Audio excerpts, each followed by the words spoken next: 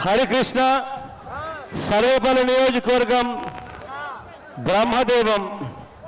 మన కార్యకర్తల మీద అక్రమ కేసులు పెట్టి హింసిస్తున్నారన్నా ఎలా బయటపడాలి అని చెప్పి అడుగుతా ఉన్నాడు హరికృష్ణ నేను ఇవాళ హరికృష్ణకి చెప్తా ఉన్నాను. ఇదే రకమైన సమస్యలు ప్రతి గ్రామంలోనూ చూస్తూ ఉన్నాం. అక్రమంగా కేసులు పెడతా ఉన్నారు.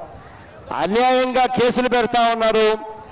విచక్షణ లేకుండా మంచి చెడులన్న జ్ఞానం లేకుండా ఇబ్బందికర పరిస్థితులు పెట్టి ఇబ్బందులు పెడతా ఉన్నారు.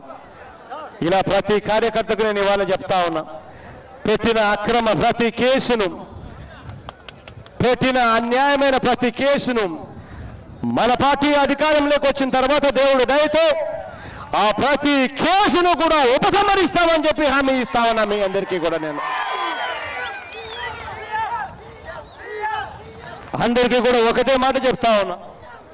దగ్గరకు వచ్చేసాం ఇక గట్టిగా కన్ను మూసుకుంటే మరో రెండు నెలలు లోపే మంచి రోజులు రాబోతా ఉన్నాయన్నది మాత్రం మర్చిపోవద్దని చెప్పి మీ అందరికీ కూడా నేను కోరుతా ఉన్నాను. దగ్గరికి వచ్చేసాం రెండు నెలలు ఇక ఓపిక పట్టండి.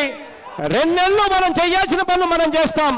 ఆ తర్వాత మన ప్రభుత్వం మనం తెచ్చుకుందామా అని చెప్పి నేను మీ అందరికీ కూడా కోరుతా ఉన్నా.